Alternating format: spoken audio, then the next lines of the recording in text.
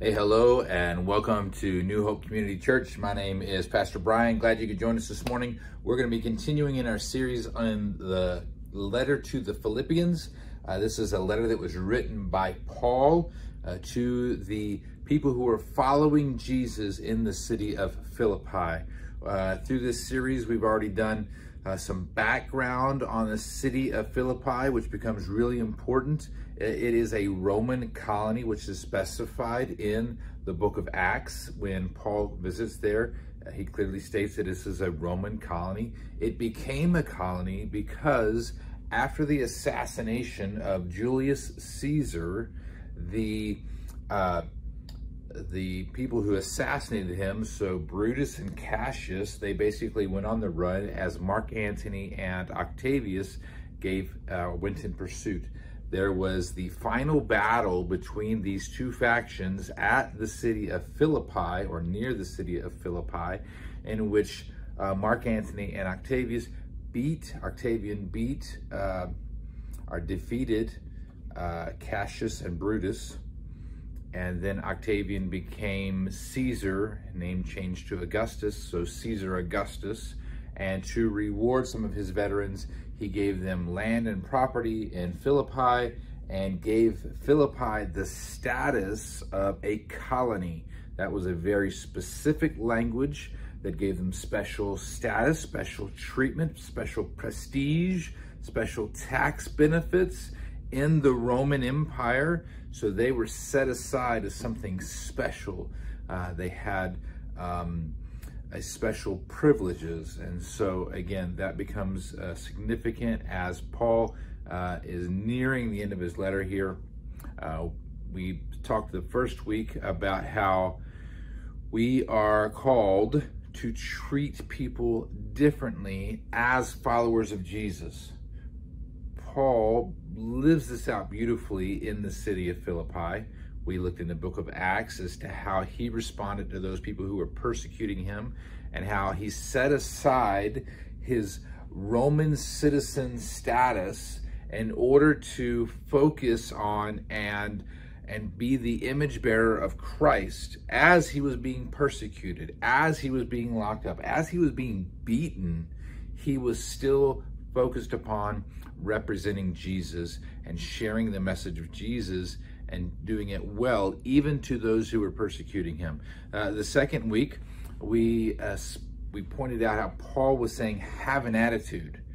And very specifically, he was saying, have this attitude, this one that is of Jesus, the attitude of Jesus, and, and uh, how Jesus, even though he was equal to God, he set that aside. Even though Jesus is God, he set that aside and took on the form of a servant. And so when the God of the universe decided to come down in human flesh, which is just incomprehensible there. We just kind of take that for granted. But the God of the universe comes down in human flesh and decides to become relatable to his people.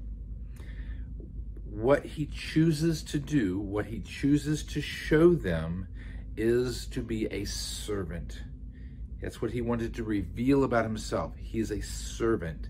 And so Paul's saying, have this attitude of Jesus. Be a servant. Show humility. So that was the first two chapters in Philippians. There's only four chapters in Philippians. So we're going to cover chapter three today. Next week, we'll cover chapter four, God willing, and finish up the series. And so uh, we're going to jump right in. Chapter three of the, the letter to the Philippians. This is in the Newer Testament, written by the Apostle Paul. And he begins this way. Finally, my brethren and sisters, it's all, all believers, uh, rejoice in the Lord. To write the same things again is no trouble to me, and it is a safeguard to you. And then he says this Beware of the dogs, beware of the evil workers, beware of the false circumcision, for we are the true circumcision, who worship in the Spirit of God and glory in Christ Jesus and put no confidence in the flesh. Although I myself might have confidence even in the flesh. So this is interesting. Again, uh, we're taking an ancient text that's written originally in Greek and we're putting it into a language that you and I understand. We're putting it into English. But as we look at this uh, idea here, false circumcision, uh, in the ancient Greek, it is more literally the idea of mutilation. Okay, Paul's saying, uh, beware of those who mutilate. In other words, beware of those who are, are so focused upon rituals and outward appearance and activity that they are not grasping the purpose and the reality of why we do what we do. Why is it that we do any of the things that we do as followers of Jesus, as God's people? He's saying there are those out there who would say, you need to do uh, these things like circumcision uh, in order to be a follower of God when they're focusing their attention on external things as opposed to the heart. Okay, that's what God has always been after. He's always been after our heart. And so there are those who would, and Paul puts it, they would just mutilate you. Uh, but there are those of us who are the true circumcision who truly understand what it means to allow God into our heart and live out of a love of God as opposed to out of a obedience to rules. And there's a big, big difference. So Paul's saying, beware of them. There's a lot of them. Beware of the, the those who are focused on ritual without the the heart and love that is supposed to be driving any of that. Uh, he's building a case against who is and who isn't truly a Jesus follower, who is and who isn't truly walking in the way that Jesus has called us to, that he showed us an example of. So he's saying that there is a value in activities because he talks about a true circumcision, but only if, only if it's done in Christ from the heart with a love for God that translates into a love for people. Okay? Now, we do that today. We're terrible at this today. So many uh, kind of fall into this idea of, of, mutilation. In other words, we get so involved in outward activity without really grasping what the point of the purpose is. How many people attend church just because you're supposed to without truly going, oh, I'm going to draw closer to God, to learn more about Him because I love God and because I love the community that God has created, because I want to help mankind, because I want to to uh, be an a an agent in the mission of the Messiah that says that I will grant and help uh, bring freedom to people, help bring provision to people, help to restore people's relationships to God and to one another. All of these ideas. But see, we just say, oh, I'm just going to go to church. I go to church I'm done. That's equivalent to the mutilation that Paul's talking about. Or how many of us say, "Well, I'm going to get baptized. I'm going to I'm going to go underwater," and because somewhere I heard that that's what you have to do in order to go to heaven. And, and if we're being baptized just because it's a thing that is considered religious, it's like it's, it's the same as mutilation. It, it's it's no point, no purpose. All you're doing is getting wet. That's all your person is doing. So if uh, we also sometimes take communion. I mean, Paul talks about this. People were doing in his day. They were taking communion without realizing the depth and the meaning of it. That we're proclaiming the death of Jesus in the death, in the bread, in the cup. And, and so, but we just go up and we haphazardly take it. We don't think about it. We don't think about uh, where this originated. Why is it we do this? It's all equivalent in the church today to what Paul is talking about and equating to mutilation. So he then goes on and he talks about uh, glory in Christ Jesus, and I put no confidence in the flesh. And, we would then need to understand that Paul's pointing out another idea, another example of the dogs, the, the, the evil workers, and the false circumcision or the mutilators, those who mutilate. So he's saying that if you have confidence in the flesh, there's a danger in that. And so then we ask the question, what do you mean by confidence in the flesh? Well, it's a great question. Paul anticipated it. He goes on to answer that question because he says, if anyone else has a, a mind to put confidence in the flesh, I far more. Then he explains what he means by having confidence in the flesh. Circumcised on the eighth day of the nation of Israel, of the tribe of Benjamin, a Hebrew of Hebrews, as to the law, a Pharisee, as to zeal, a persecutor of the church, as to the righteousness which is in the law, I'm found blameless. And so Paul is saying, listen, I am a model citizen. I am an Israelite, and not just any Israelite. I'm this certain brand of Israelite. I've come from a certain tribe that carries a status that is important and is seen as something special. I, I, am this like this party of Israelite that is better than the rest of the other Israelites. I, I am better than the other kind. I am been chosen by God. And and that is is how he could find confidence in the flesh.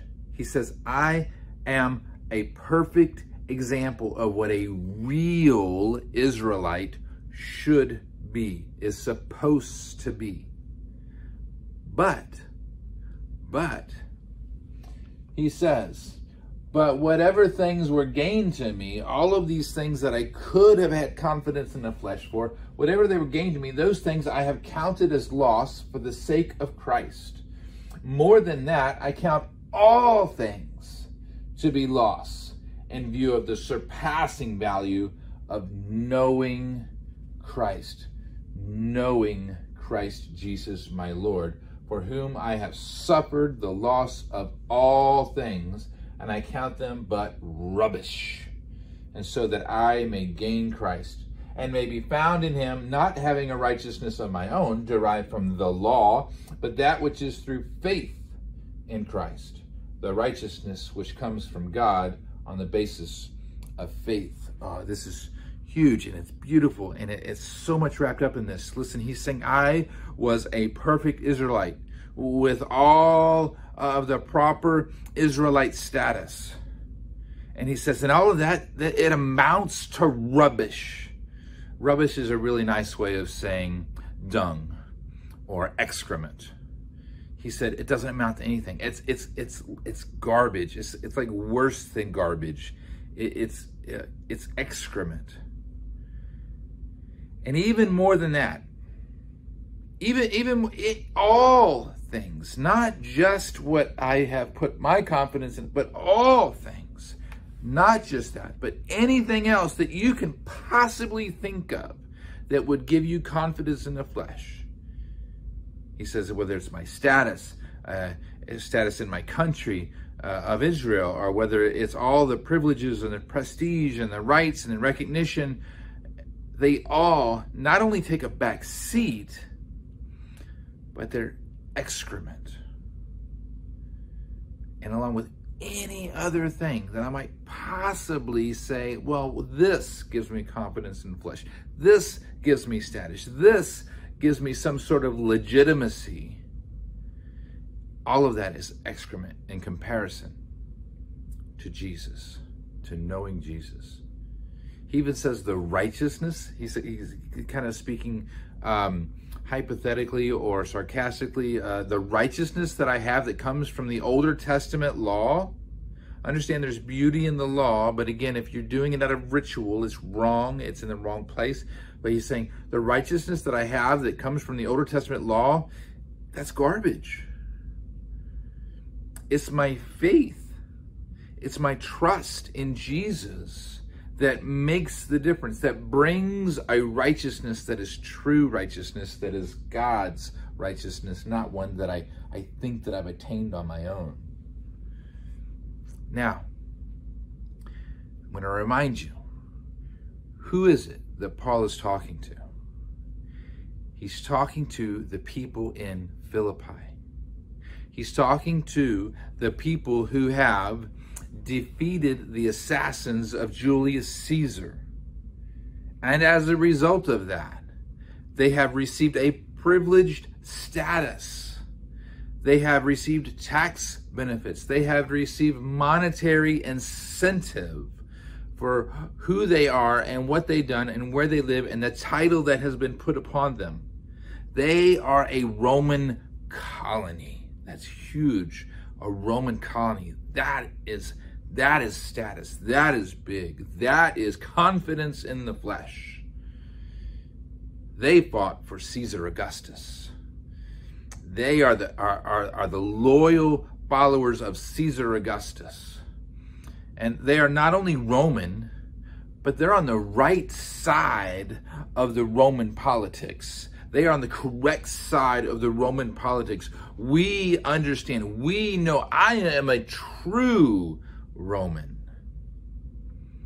I'm the best kind of Roman. You see, we put down those dogs that were trying to manipulate the way that Rome was governed.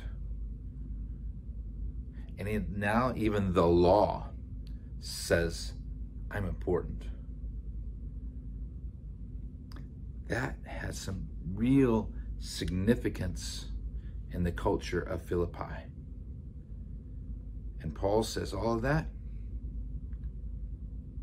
dung. It's excrement. It's rubbish. It means nothing. Listen, these people held so tightly to their status that they equated it with favor from the gods. They thought the gods were shining down upon them and approved of them because of this. So as, as Paul is explaining all this, he tells them, listen, if status meant something, if, if any of this stuff really meant something, then I would have far more reason to boast than any of you because I'm a Hebrew. I'm an, I'm an Israelite. I, I'm from the tribe of Benjamin. I'm a Pharisee. I'm God's chosen. But he's saying, even my status and all of those things, it doesn't mean anything. And if that doesn't mean anything, with Paul's so called status, then your status as a Philippian doesn't mean squat. Take that and apply that to today. And, and ask the question what are we seeing in our culture that we put confidence in? in the way that Paul is explaining here? Do you put confidence in your job title? Do you put confidence in, in, in, your bank account and the, the amount of money that you make or how much you have saved or the car you drive or your political party? Do you have confidence in that? Does that define who you are? Does that give you a status? Uh, what about your sports team? Is that something that, that you think that is um, more important and makes you better and gives you privileged status? What about your status as an American? Do you think that your status as an American as something that gives you special privilege and, and special honor? Uh, what about the color of your skin? Do you think that places you in a category that's different and honored and privileged or, or gives you some sort of status somewhere in society?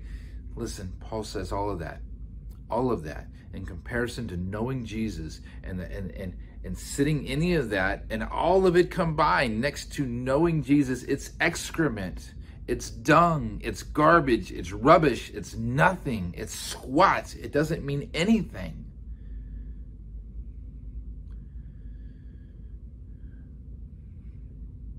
Paul says, I was more than all of those things. And even to Paul, it didn't mean anything anything that has value, it has to come, it has to be based upon faith, not ritual, not status, not even law, whether it's Older Testament law, whether it's Roman law, or whether it's American law today. None of those things matter. What matters is what comes from faith and is practiced through Jesus out of our hearts, out of a changed heart, and it's expressing love towards God and towards our fellow human beings. So, the question then, what is it all for? What's the purpose? Well, he says that I might know him. He's using this language again, that I might know him. He, he said that in all those other things, knowing Christ right? Surpassing value of knowing Christ. That's the point. That's the goal. And so he says here, that I may know him, that I might know Jesus. And it's a lifelong pursuit. You're not going to snap your fingers and know Jesus. And how is it that you get to know Jesus? It's the same way you get to know anybody or anything. That means you spend time with him and you ask questions of him and you become interested in him. That's how you know Jesus. You spend some uh, proximity and closeness to him, learning, curiosity, affection, following, listening. It's those things. And the power of his resurrection we think of resurrection as some future event, and there will be some culmination of future resurrection, a physical resurrection. But Jesus offers us a resurrection today, a resurrection of heart and mind and soul and emotion and relationship, a resurrection of these things that teaches us that we can live real life. Instead of being the walking dead, we can have real life now here and now. And that's defined by God. It's not defined by by government. It's not defined by your status in Rome. It's not defined by any of those things. Resurrection is offered now through Jesus. And then it also says, and this is maybe some of the, the, the hard part for so many of us, it says the fellowship of his sufferings. everything about Paul's earthly status as both an Israelite and as a Roman should have meant a life of comfort for him, should have meant a life of plenty for him. But he forfeited all of those things. He forfeited the titles. He forfeited all of that stuff that he had access to and so that he could focus on others. Throwing off the trappings of society, he suffered. He suffered. And he didn't do it just once. And he didn't do it for the sake of suffering, for, for piety's sake, but he did it with a much bigger picture in mind. He suffered and so that he could bring redemption into chaos. He could bring shalom into uh, chaotic places redemption back into the Father's house for the lost and the sick and the broken and the poor. He brought freedom to people who were oppressed, equality to, to the outcasts, to the marginalized. And then he says, Not that I have already obtained it or have become perfect. Okay, this, this word perfect here is Paul's not saying that he's perfect and, and he's not uh, calling us to be perfect. The word perfect, again, in the original language, the Greek language, is this word that means I, I'm not done yet. He's not saying, he's saying, I'm not done yet. I, ha I haven't finished yet. I'm still in process. I'm still working at, because I have breath in my lungs. I'm still working in that direction. It's the same uh, group of words this word perfect that, that Jesus used on the cross. When he was dying on the cross and his last words is, it is finished. It's kind of the same, same word, same word group. It is perfect. It is done. It is completed. Paul's saying, I'm not done. And, and there's also this aspect behind it of an appropriate amount of maturity that is based not on just your physical age, but your spiritual age. How long have you known Christ? What is it you know about him? What are your abilities? All of that. Is it being put to use? Is there a, a maturity there? A, a perfection for where you are in the moment. It's all a process. He says, but I press on so that I may lay hold of that for which also I was laid a hold of by Christ Jesus. Brethren, I do not regard myself as having laid hold of it yet. But one thing I do, forgetting what lies behind and reaching forward to what lies ahead. This is, again, some beautiful uh, wordplay here because what, what Paul is saying is, I have not, I do not regard myself as laying hold of it yet. he's saying, I'm not finished, but remember the attitude that we talked about in uh, last week, week two, and when Paul says, have an attitude, have an attitude of Jesus, and then he explains the attitude that Jesus had, who Jesus, although he was in the existed in the very form of God, did not regard, he did not regard equality with God as something to be grasped. Now he is, he's God, he's part of the Trinity. There is an equality between the Father, the Son, and the Holy Spirit. But Jesus was saying, I, I, emptied myself of that. I didn't cling to that. I came and I became a servant. Paul is saying, listen, I do not regard myself as having laid hold of it yet.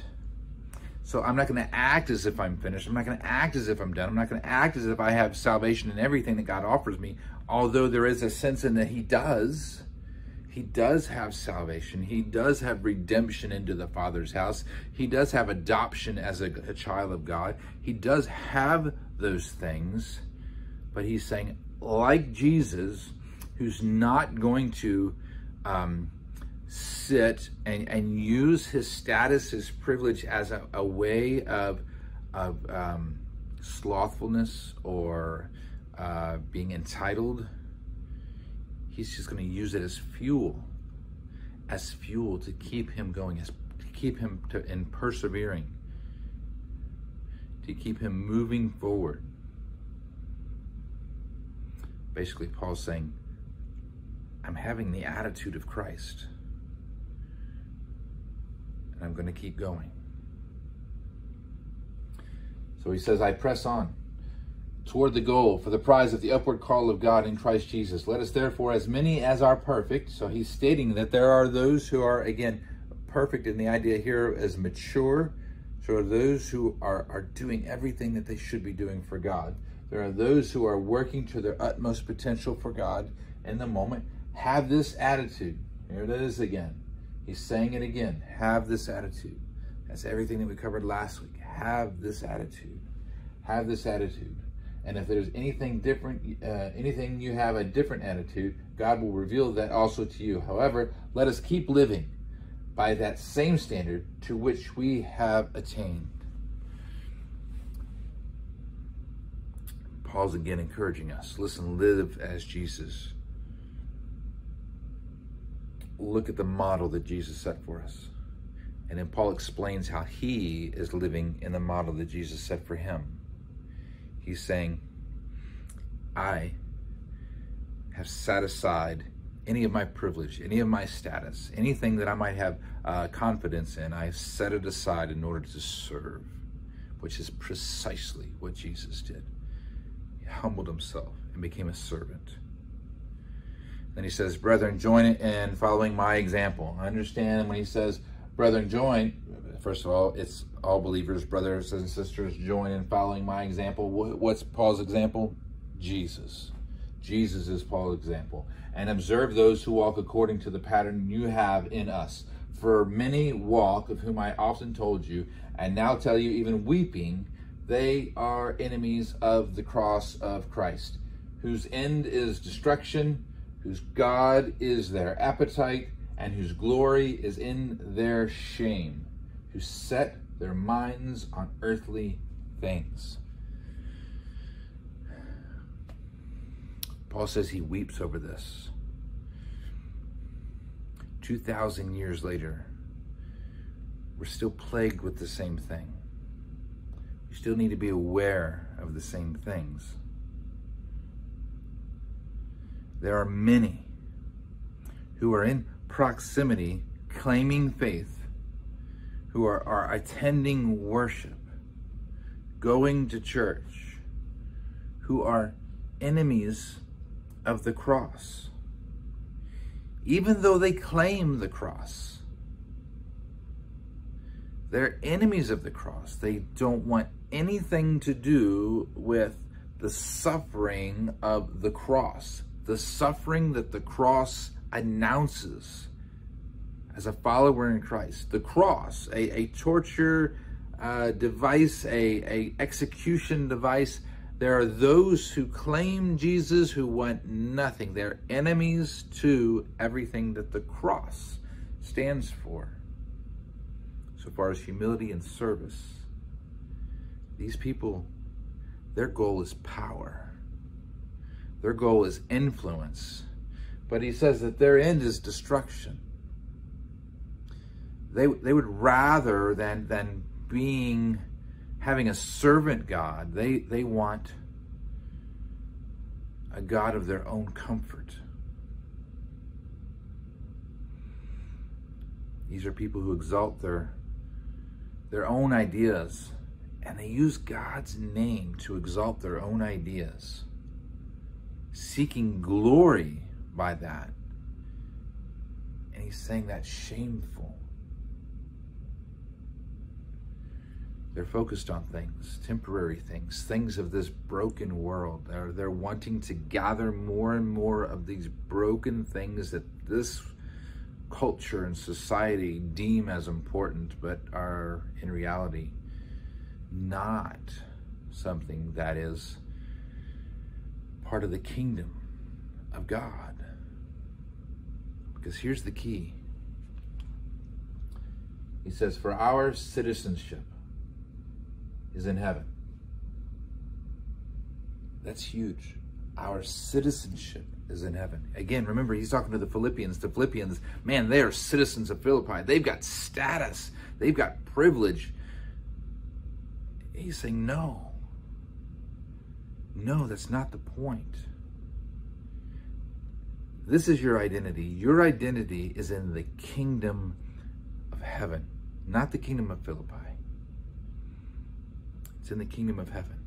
It's not in the, the, the, the kingdom of, of Cincinnati. It's not in the kingdom of New Hope. It's not in the kingdom uh, of, of Republican Party or, or Democratic Party. It's not in the kingdom of America. It's not in the kingdom of white or black or, or Asian or, or Latino. It's not in the kingdom of anything other than the kingdom that is ushered in by Jesus Christ through the servitude and humility of the cross. Through faith. Through faith in that. Through trust in that. We are citizens of heaven. First and foremost, citizens of heaven.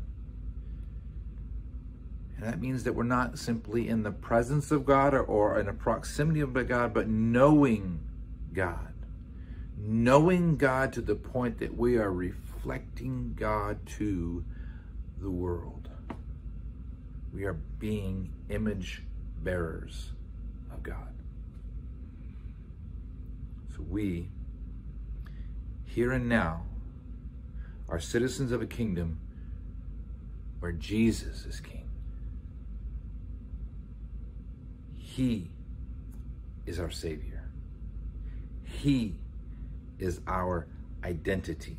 He is our love. He is our example. And He will transform the body of our humble state into conformity with the body of His glory by the exertion of the power that He has, even to the subject, even to subject all things to Himself. He will do it. Jesus will do that. Let's model ourselves after the Jesus that is the one that's recorded in scriptures. Listen to, to me here. Because we too often want to model ourselves after the Jesus that we think will be we have a very clear picture of the Jesus of the Gospels.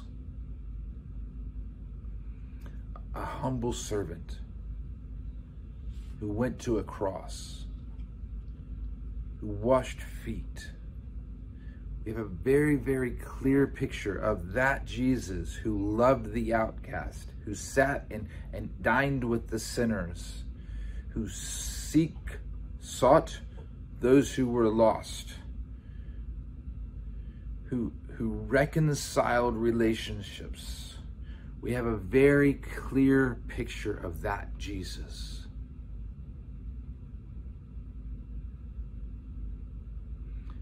When Jesus returns, let's see, because we, we want to think about the Jesus of the future, not the Jesus of the past.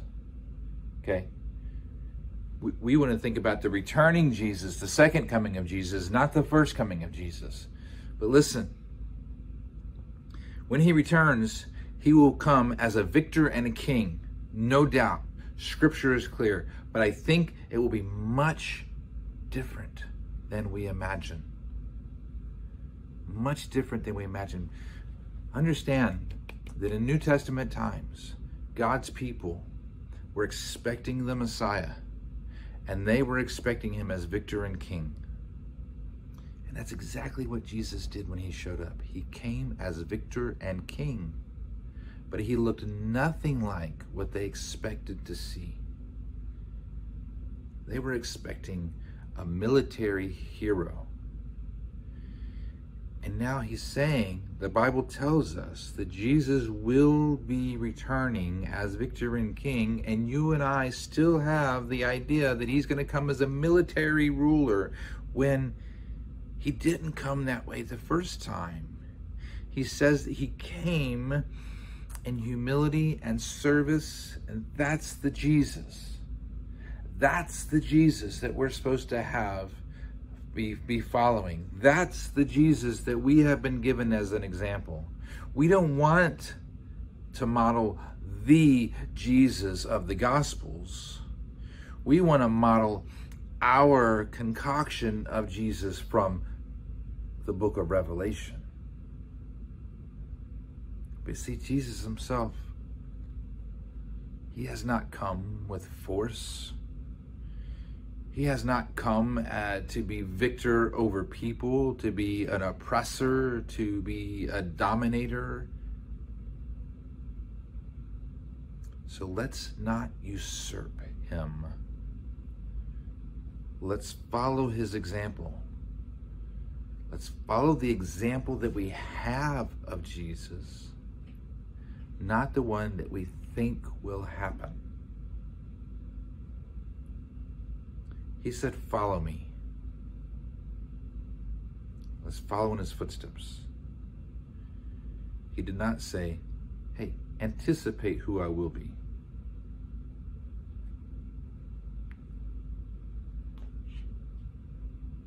The future and how he returns, that's up to him. We follow in his footsteps, not precede him have the attitude of the Jesus who humbled himself and served unto death. That's our King. That's the kingdom where we are citizens. Let's pray. Lord God, I thank you for oh, your message. Uh, it's so incredible to be able to read through uh, these letters written 2,000 years ago and see how relevant they are today. Lord, I pray that we can open our eyes and see that what Paul is overlaying in, in this letter to the Philippians is, is exactly the issues that we struggle with today and that we deal with today. Lord, help us to not put confidence in the flesh. Help us to be uh, humble and servants, just as Jesus showed us. Help us to set aside any any thought of privilege or status or rights that we might have that are afforded to us through our titles or through our jobs or through our location, again, our skin color, our our country, our constitution, or any of those things, Lord, but let it all be rubbish and so that we might seek to know the surpassing glory of being known by Jesus. Lord, we thank you so much for revealing yourself to us through the pages of Scripture. I pray that our eyes and our ears and our hearts are open to you, who you truly are, and that we follow in your footsteps and not attempt to lead. We thank you. We ask for your blessing. In Jesus' name, amen. Hey, uh, pick up your Bibles. This God is so incredible, and He's speaking directly to you today. Stay safe, stay healthy. Hope to see you soon.